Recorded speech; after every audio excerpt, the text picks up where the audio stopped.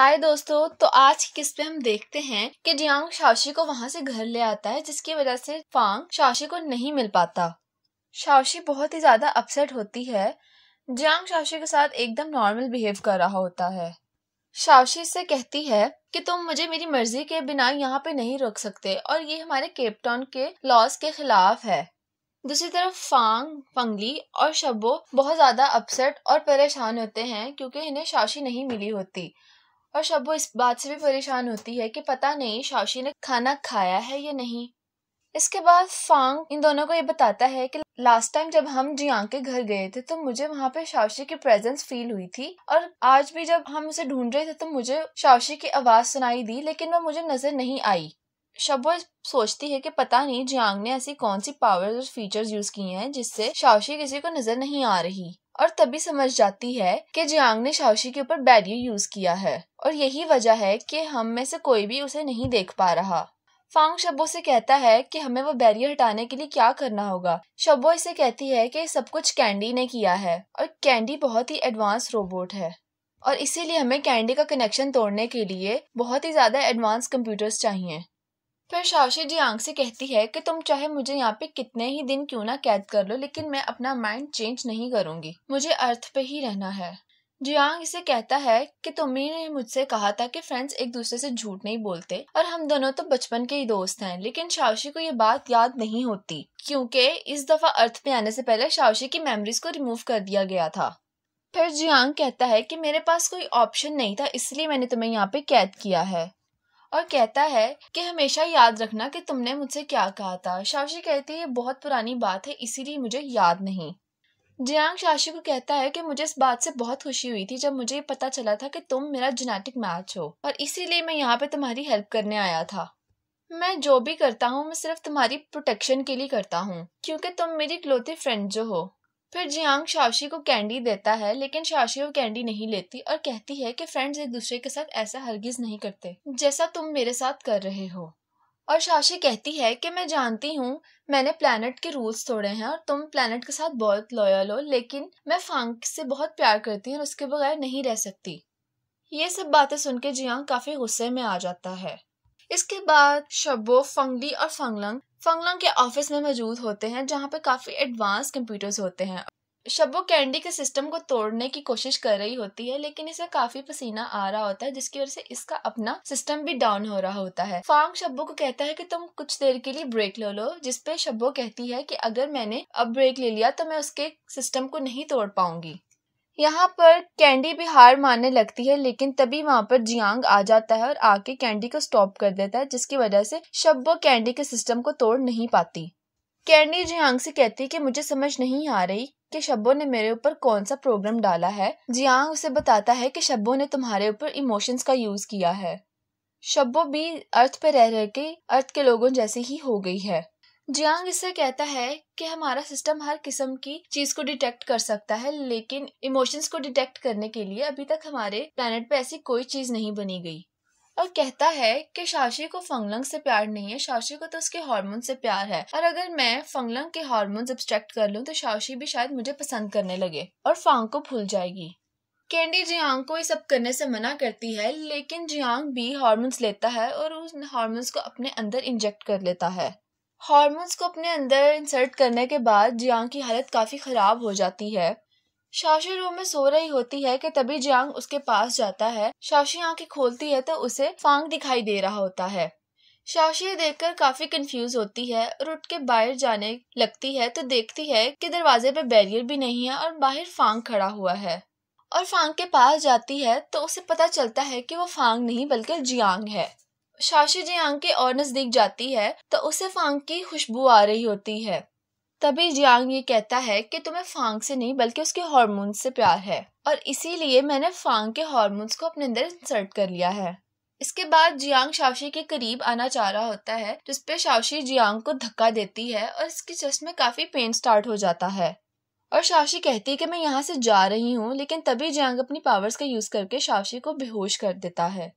फिर इसके बाद ये तीनों बैठे होते हैं और शब्बो कहती है कि मैं दोबारा से ट्राई करती हूँ कैंडी के सिस्टम को तोड़ने के लिए, लेकिन फांग कहता है कि तुम ऐसा ना करना और शाशी भी नहीं चाहेगी कि तुम इतनी दर्द उसके लिए सहो। और कहता है कि मेरे पास एक दूसरा प्लान भी है। फांग इनसे कहता है कि जियांग को अब तक तो ये पता चल गया होगा कि हम शाओशी को ढूंढ रहे हैं और उसको रेस्क्यू करने की कोशिश कर रहे हैं। तो अब वो जब भी घर से जाएगा तो अपने साथ शाशी को ज़रूर लेकर जाएगा। और अब इसीलिए हम शाशी को जियांग के ऑफ़िस में जाके ढूंढेंगे। इसके बाद जियांग अपने चीफ से बात कर रहा होता है और बताता है कि हार्मोन सिलेक्शन का काम ऑलमोस्ट कंप्लीट हो चुका है और हम कभी भी अपने प्लेनेट पर वापस आ सकते हैं। जिसपे जियांका चीफ से कहता है कि मुझे लगता है कि यहाँ पे कोई प्रॉब्लम चल रही है क्योंकि तुम दोनों ही अपनी पावर्स का काफ़ी इस्तेमाल कर रहे हो। लेकिन जियांग कहता है कि यहाँ पे मैग्नेटिक फ़ील्ड कुछ ज़्यादा ही खराब हो गई है, इसीलिए आपको ऐसा लग रहा है। चीफ के वहाँ जाने के बाद शाशी वहाँ पे बेहोश पड़ी होती है और कैंडी जियांग से कहती है कि शाशी तो बेहोश है और चीफ ने भी हमें वापस आने का कहती है तो अब हम क्या करेंगे? और दूसरी तरफ़ शाशी भी वापस नहीं जाना चाहती। जियांग कैंडी से कहता है कि अब तो सिर्फ़ एक ही रास्ता बचा है और फिर शाशी के पास जाता है और जाकर उसके माइंड से सारी ही यादें मिटाने की कोशिश करता है। कैंडी जियांग को ऐसा करने से मना करती है और कहती है कि ऐसा करेंगे तो इसका सारा नर्वस सिस्टम ब्रेक डाउन हो जाएगा। लेकिन जियांग कैंडी की कोई बात नहीं सुनता और बहुत ही फोकस से अपना काम कर रहा होता है और कहता है कि वो शाशी को यहाँ पे नहीं रहने देगा।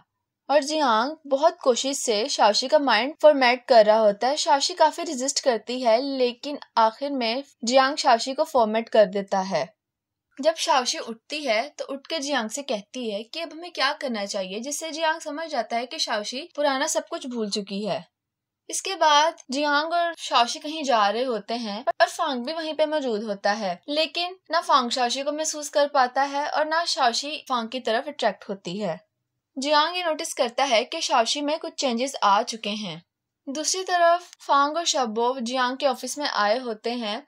फांग मीटिंग में चला जाता है, और शब्बो शाशी को ढूँढने के लिए निकल जाती है। फिर फांग जियांग से आके मिलता है और कहता है कि तुम्हें मेरे प्रोजेक्ट की पेमेंट जल्दी ही करनी पड़ेगी। क्या पता तुम कब अपने प्लेनेट वापस चले जाओ? जियांग इसकी बात सुनकर हंसता है और कहता है कि पेमेंट का सारा ही काम मेरी असिस्टेंट संभालेगी और उसके बाद अपनी असिस्टेंट को यहाँ बुलाता है। फांग शाशी को उसकी असिस्टेंट देखकर काफ़ी हैरान होता है। फांग शाशी को देखकर उसके पास जाता है और पूछता है, क्या तुम ठीक हो? और उसे टच भी करता है, लेकिन शाशी इसे धक्का दे देती है। और कहती है कि आप अपनी लिमिट्स में रहें। फिर शाशी फांग को कहती है कि मैं यहाँ पे अपना मिशन कंप्लीट करने आई थी और मेरा मिशन कंप्लीट हो गया है तो लिहाजा तुम मुझसे दूर रहो। फांग जियांग से पूछता है कि तुमने शाशी के साथ क्या किया है जिसपे जियांग इसे कहता है कि शाशी को रियलाइज़ हो चुका है कि उसे अब कैसे जीना है। और इसीलिए अब तुम उसकी लाइफ में बिल्कुल भी इंटरफेयर ना करो। बाहर शब्बो शाशी को तलाश कर रही होती है कि तभी वहाँ पे शाशी आती है। शब्बो शाशी को देख के कहती है कि यहाँ से चलो फांग तुम्हें बहुत याद कर रहा है। लेकिन शाशी कहती है कि मैंने फांग से ब्रेकअप कर लिया है, क्योंकि मेरा मिशन कंप्लीट हो चुका है। शब्बो को शाशी की ये बातें बहुत अजीब लगती हैं और वह शाशी को समझाने लगती है। लेकिन तभी वहाँ पे जियांग आ जाता है और शब्बो को कहता है कि तुम शाओशी से दूर ही रहो। और कहता है कि तुम हमारे लिए इम्पोर्टेंट नहीं हो, अगर तुम्हें अर्थ पे रहना है तो तुम रह सकती हो। लेकिन मैं शाशी को यहाँ से लेकर चला जाऊँगा। इसके बाद शब्बो फंगली और फंगलोंग बातें कर रहे होते हैं और सब कहते हैं कि शाओशी ऐसा कैसे कर सकती है जिसपे शब्बो कहती है कि यकीनी तौर पर जियांग ही ने शावशी के दिमाग के साथ कुछ किया है। फांगली ये बात सुनकर काफ़ी हैरान होता है और शब्बो से पूछता है कि, कि इसका मतलब क्या है? शब्बो बताती है कि जियांग ने शावशी की ब्रेन वॉशिंग की है यानी कि उसने उसके साथ कुछ ऐसा किया है कि हम तो उसे याद हैं, लेकिन उसे हमारे साथ के इमोशंस और फीलिंग्स का बिल्कुल भी कोई अंदाज़ा नहीं है, इसीलिए वो ऐसा रूड बिहेव कर रही है। तभी फांग कहता है कि शाशी को दोबारा से वैसा करने के लिए हम क्या कर सकते हैं? शब्बो कहती है कि अगर हमने पावर्स का इस्तेमाल किया तो शाशी का नर्वस ब्रेकडाउन हो जाएगा।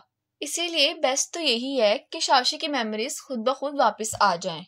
शाशी और जियांग साथ होते हैं। शाशी जियांग को अपने प्रोग्राम के बारे में बता रही होती है कि तभी उसे शब्बों का मैसेज आता है। तो वो जियांग को बताती है कि मेरा सारा सामान पैक हो चुका है तो क्या मैं वहाँ लेने चली जाऊँ? जियांग इसे कहता है कि तुम्हें मुझे हर बात बताने की कोई ज़रूरत नहीं है। फिर जियांग शाशी को कैंडी देता है उसके फ़र्स्ट डे की वजह से। शाशी से कहती है कि आप मेरे बॉस हैं तो आप जैसा कहेंगे मैं वैसा ही करूँगी, और इसके लिए आपको मुझे रिवॉर्ड देने की कोई ज़रूरत नहीं है। और ये सब कह के शाशी यहाँ से जाने वाली होती है कि जियांग उसे वापस से रोककर उसे कैंडी देता है। और कहती है कि मैंने आज के लिए बहुत ही ज़्यादा शुगर खा ली है, लेकिन अगर आप चाहते हैं तो मैं एक कैंडी और खा लेती हूँ।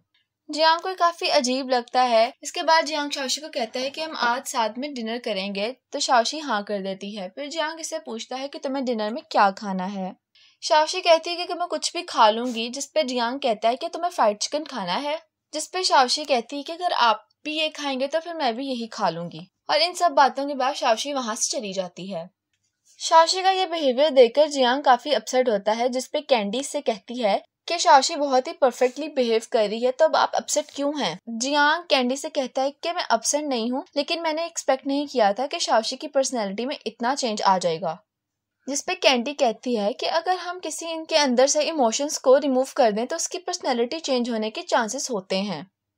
शाशी रोड पर चल रही होती है कि तभी उसे एक बॉल लगने वाली होती है लेकिन वहाँ पे फौरी तौर पर जियांग आ जाता है और टाइम को स्टॉप कर देता है। और फिर जियांग उसे वहाँ से लेकर कहीं और चला जाता है। ये दोनों दूसरी जगह आते हैं तो, तो तभी जियांग के रस्ट में एकदम से पेन स्टार्ट हो जाती है। शाशी से कहती है कि आप ठीक तो हैं और जियांग को बैठने के लिए कहती है। शाशी से कहती है कि आप मुझे प्लीज़ बताएँ कि आपको क्या हुआ है लेकिन तभी वहाँ पर जियांग बेहोश हो जाता है। इसके बाद मिस छाया अपने ट्रिप से वापस आती हैं कैफ़े और देखती हैं कि यहाँ पे सभी लोग काफ़ी अपसेट हैं और इनसे पूछती हैं कि तुम लोग अपसेट क्यों हो। इसके बाद शाशी जियांग को घर ले जाती है और जियांग बेहोश होता है, लेकिन जैसे ही उसकी आँख खुलती है तो जियांग देखता है कि शाशी उसकी काफ़ी केयर कर रही होती है। और शाशी जियांग को आराम करने के लिए कहती है जिसपे जियांग कहता है कि तुम मेरी फ़िक्र ना करो, तुम अपनी फ़िक्र करो। लेकिन तभी शाशी कैंडी निकालकर जियांग को देती है और उसे खाने का कहती है। जियांग ये देखकर कहता है कि तुम्हें तो कैंडी पसंद नहीं थी। शाशी से कहती है कि हम केप टाउनर्स को शुगर की ज़रूरत नहीं होती, लेकिन ये आपको पसंद थी, इसलिए मैंने इसे अपने पास रख लिया। तभी रूम में जियांग की रोबोट कैंडी आती है और बताती है कि शाशी ने जो हमें इन्फॉर्मेशन दी थी, मुझे उससे पता चल चुका है कि फांग ने बाकी के हॉर्मोन्स कहाँ पे रखे हैं। जियांग ये सब सुनता है, लेकिन फौरी तौर पे इसके चश्मे दोबारा से पेन शुरू हो जाता है। शाशी उसे पानी पिलाती है और पूछती है कि आपकी बॉडी इतनी वीक क्यों हो गई है? तो कैंडी शाओशी से कहती है कि सब तुम्हारी गलती है। लेकिन जियांग उसे चुप रहने को कहता है और कैंडी से कहता है कि हमारे प्लेनेट पे बता दो कि मैं एक दो दिन के लिए छुट्टी लेने वाला हूँ। फिर मिस चाय के कैफ़े में ही सब मौजूद होते हैं और मिस चाय को पता चल चुका होता है कि जियांग ने शाशी के साथ क्या किया है जिसपे मिस चाय जियांग पे काफ़ी गुस्सा कर रही होती हैं। शब्बो मिस छाय से कहती हैं कि शाशी यहाँ पे जल्दी आने वाली है और जब वो आएगी तो हम उसे बात करके देखेंगे, क्या पता वो अपना माइंड चेंज कर ले।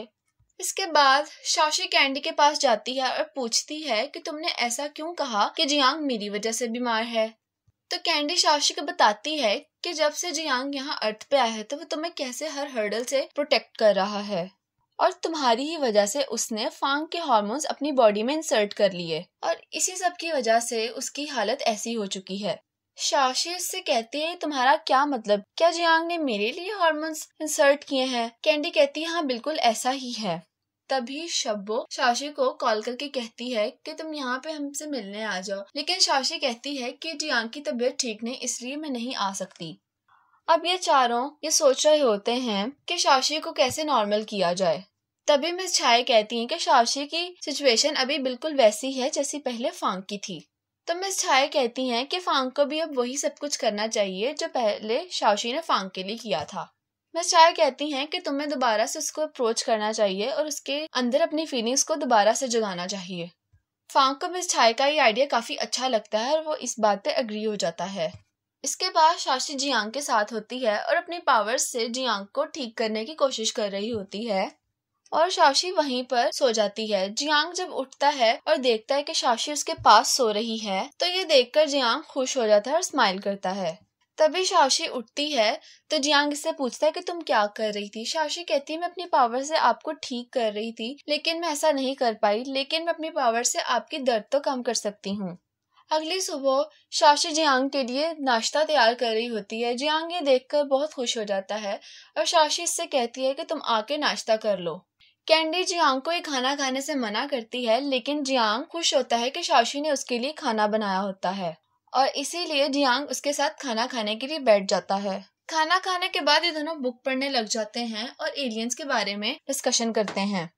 इसके बाद जियांग कहता है कहता है कि ह्यूमन कितने स्टूपिड होते हैं, इनको एलियंस के बारे में कुछ भी पता नहीं होता। लेकिन तभी शावशी कहती है कि अगर इंसान इतने बेवकूफ़ होते तो इतना अच्छा अच्छा खाना इन्वेंट कैसे करते? जियांग शावशी की बात सुनकर स्माइल करता है और उसे कहता है कि अगर तुम्हें कोई खाना पसंद है तो मुझे बता दो। हम अपने प्लेनेट पर जाके अपनी टेक्नोलॉजी के ज़रिए वो खाना बना लेंगे। शावशी इससे कहती है कि मुझे कोई खाना इतना खास तो पसंद नहीं, लेकिन लेकिन हम कैंडी बना सकते हैं क्योंकि कैंडी आपको बहुत पसंद है। तभी शावशी जियांग को कैंडी देती है तो देखती है कि कैंडीज खत्म हो गई हैं। तभी शावशी वहाँ से जाती है दूसरी कैंडीज लेने के लिए। और यहीं पर यह एपिसोड खत्म हो जाती है।